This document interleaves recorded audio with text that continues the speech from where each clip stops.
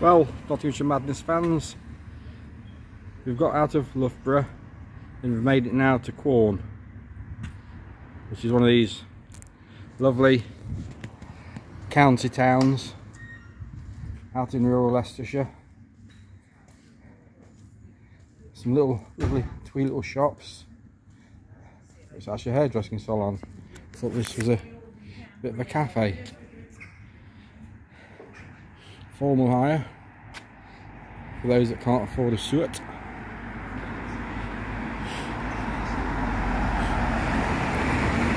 Lovely little, it's a town or village.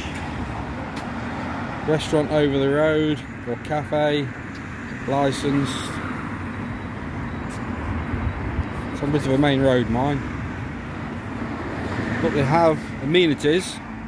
They've got St Bartholomew's Church, public free car parking toilets, Quorn Hall, a Baptist church, and something this way, I can't read it yet.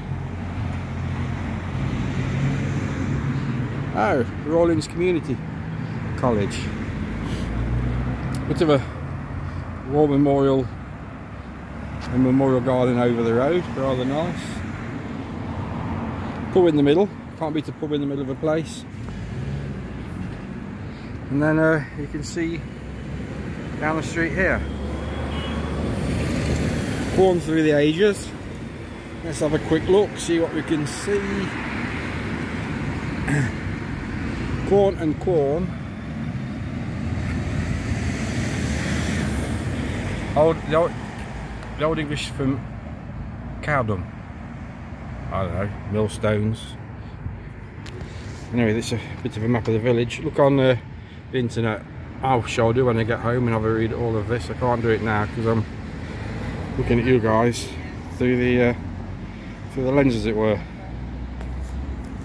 Anyway, little stop off in Quorn and uh,